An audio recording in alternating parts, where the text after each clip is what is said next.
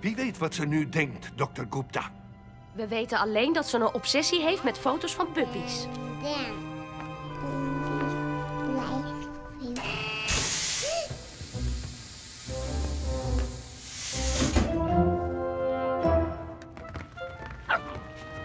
Wegwezen.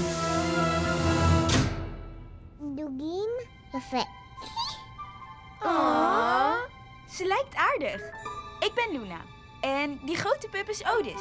Chap is die onrustige en dit is Haggis. Hij is een beetje knorrig, maar als je hem eenmaal kent, heeft hij een hart van goud.